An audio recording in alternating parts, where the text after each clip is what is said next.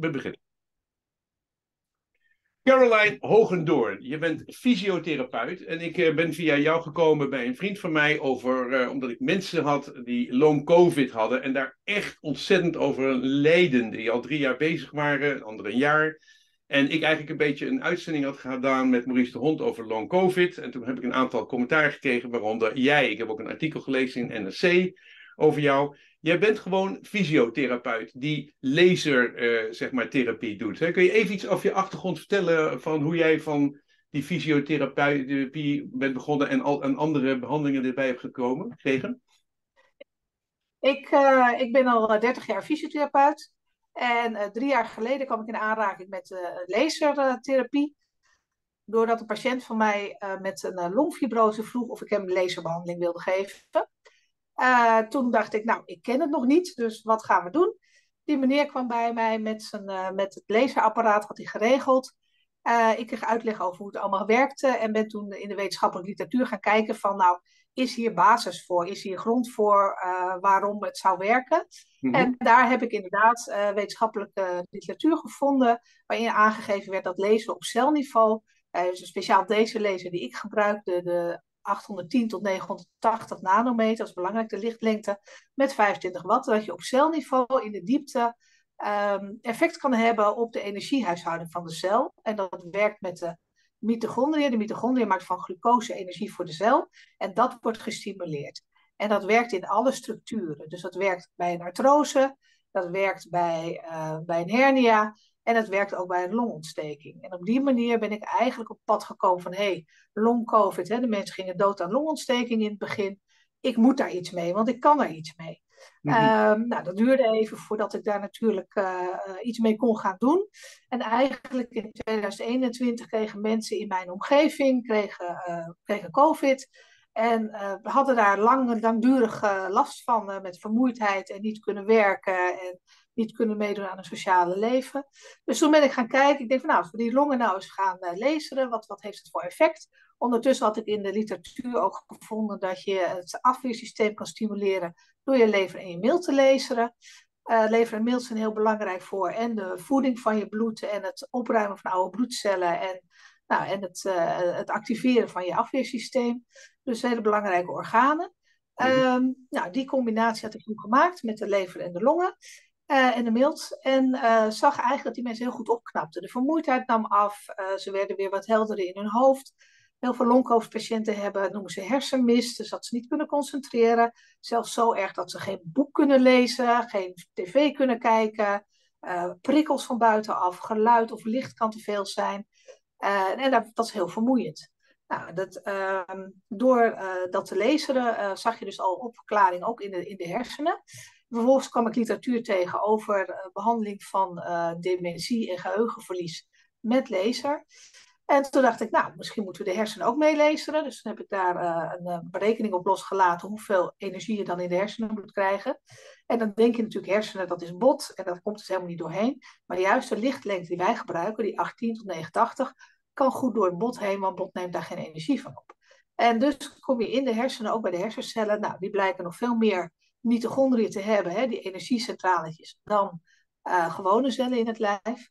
En wat je dus ziet is dat de hersencellen niet door die vermoeidheid en te weinig aan energie niet goed kunnen samenwerken. En dat is eigenlijk, hè, die overprikkeling komt voor een deel doordat uh, de, de prikkels die je krijgt, alle uh, geluid en gesprekken en, en licht en nou, wat er allemaal om je heen gebeurt, dat je daar geen filter voor hebt. Dus je hebt geen focus meer van hé, hey, ik wil naar die persoon luisteren en niet al die andere mensen die langslopen.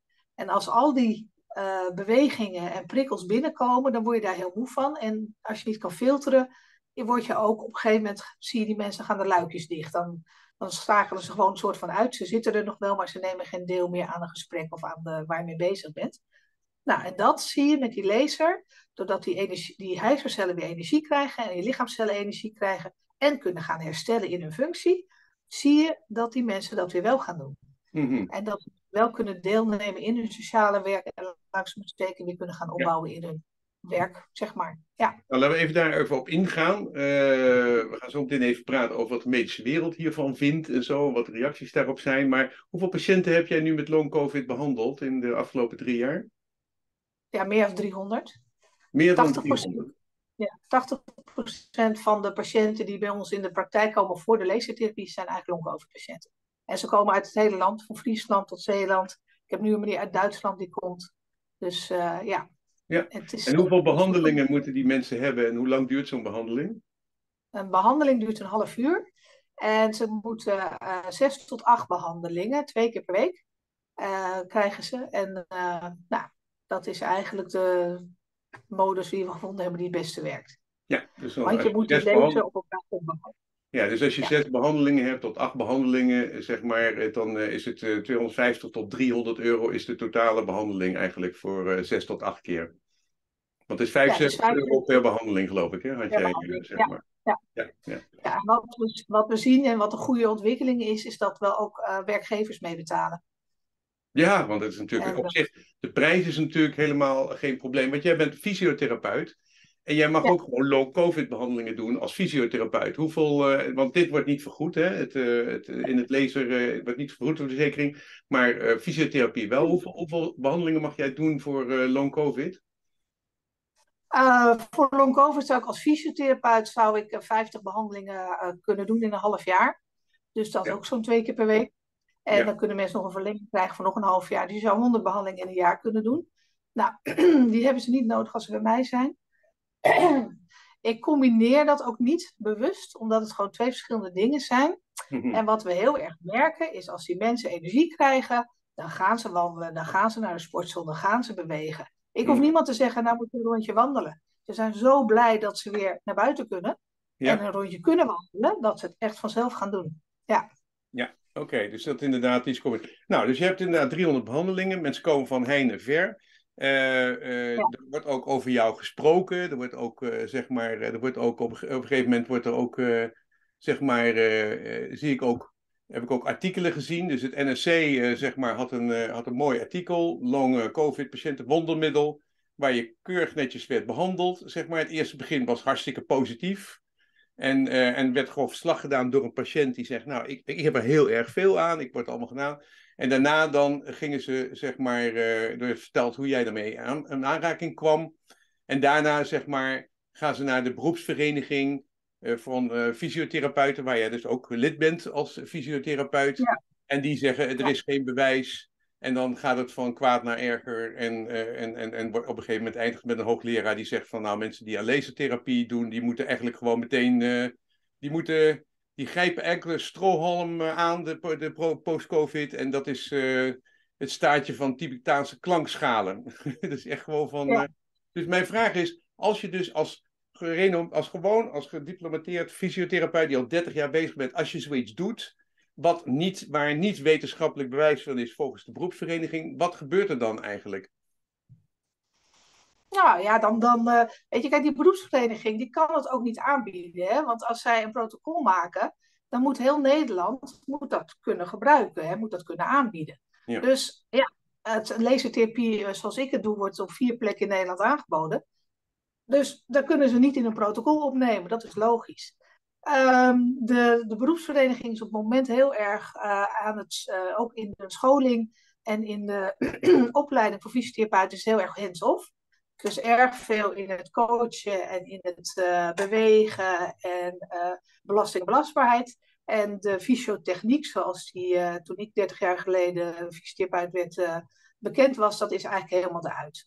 Mm -hmm. dus daar doen ze erg weinig mee. Dus ja, dan komt er weer een apparaat wat best wel wonderen verricht eigenlijk. Ehm, maar ja, waarvan ze zoiets hebben van ja, dat kennen we niet en we zien niet de meerwaarde. En ja, dat is best wel jammer, want voor op allerlei gebieden, niet alleen long-covid, is het een heel interessant apparaat. En jij zegt ook van, ik heb er ook... En dan komt er een hoogleraar. Ja, ga je gang. Nee, nee, zeg jij maar.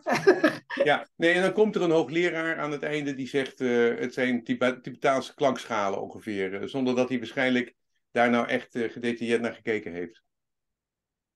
Dat denk ik ook niet. Hij heeft er geen onderzoek naar gedaan. Hij heeft mij niet opgezocht. Hij heeft niet gekeken wat we überhaupt doen. Op wat voor wetenschappelijke basis. Hij zegt gewoon van, nou ja, volgens mij werkt het niet. Terwijl als je in PubMed kijkt naar lasertherapie en, en daar, daar zijn er zat artikelen over te vinden wat lasertherapie doet op celniveau. Mhm. Dus, Ja. eh, Oké, dus eh, wat, kost zo'n laser eigenlijk die jij dan moet aanschaffen? die lasers eh, die ik hier heb, die kosten tussen de 30 en de 35.000 euro. Ja, dus je hebt echt gewoon, je hebt gewoon, zeg maar, gewoon een investering gedaan. En 75 euro voor zes behandelingen is nou niet direct echt, dat is niet de hoofdprijs vergeleken met dat je 50 behandelingen mag doen. Dus wat dat betreft, je hebt geen economisch belang. Je hebt gewoon gezien dat dat, eh, dat, dat eh, zeg maar, gewoon werkte. Heb je er zelf Ja. nog last van gehad eigenlijk? Dat de, dat de beroepsvereniging zegt, hé, hey, als jij dit soort dingen doet, dan, eh, dan krijg je er last mee met je rol als fysiotherapeut of niet? Nee, ik heb eigenlijk gewoon twee bedrijven. Ik heb Fysiotherapie Hogendoorn, daar doen we fysiotherapie. En we hebben Leestherapie Nederland en daar doen we leestherapie. Het zijn al gescheiden bedrijfjes, er zijn gescheiden facturen. En eh, ik mag dit als BIG-geregistreerde fysiotherapeut mag ik dit doen volgens, de, volgens het RIVM, volgens de wet.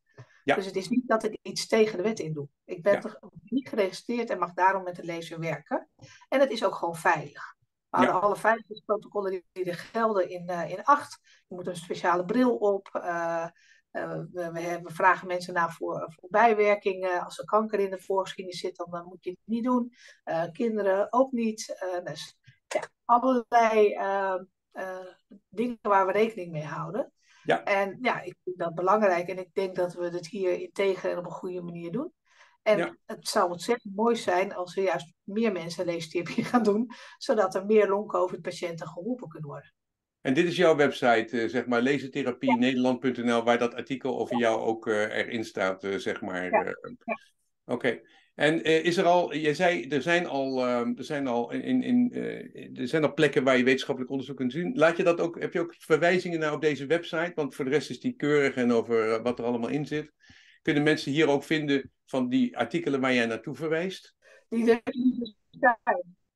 Eh, meestal sturen we die toe. Ze zijn best wel ingewikkeld om te lezen. En, maar het is, het is wel goed om daar nog wat linkjes op te zetten met eh, wat er al wel is aan wetenschappelijke artikelen. Ook over long-covid en laser zijn wel wat wetenschappelijke artikelen. Maar het zijn meer case reports waarbij de laser wordt aangemerkt als een, eh, eh, een, een veelbelovend instrument om mee te gaan werken. Ja, ze hebben inderdaad, toen de mensen in het ziekenhuis aan het sterven waren, ze met laser behandeld op bepaalde plekken in Amerika. En gezien dat die mensen niet overleden aan de longontsteking, maar juist opknapten. En dat is natuurlijk gewoon wel heel sterk. Ja. Maar dat zijn enkele gevallen geweest. En niet eh, hè, zoveel mensen als ik heb behandeld, maar ook niet dat dat een, in een randomized control eh, trial is eh, neergezet. En dat is Ja, lastig.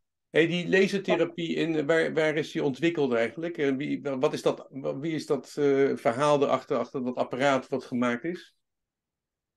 Nou, mijn apparaat is van Lightforce, dat komt uit Amerika. En daar heb Mhm. je een grote firma die, dat, eh, die daar al jaren mee werkt. Mhm. Het grappige is eigenlijk wel dat er een Nederlander is die ermee begonnen is in de jaren zeventig. Oh, Oké. Dat de verder ontwikkeld zijn eh, ja, in Amerika. En, eh, en dat je nu ziet dat er eh, uit verschillende landen eh, lasers ontstaan. In Australië wordt het heel veel gebruikt, in, in eh, Nieuw-Zeeland, Scandinavië ook wel. Eh, we hebben een Italiaanse firma die lasers maakt. Dus, Ja, ja, eh, en dus- in China hebben we vijf eh, lasers gemaakt. Ja, maar Dus er zijn vier echt- mensen dus in Nederland, maar inderdaad over de hele wereld zijn er een stuk meer eigenlijk, eh, zeg maar. Ja.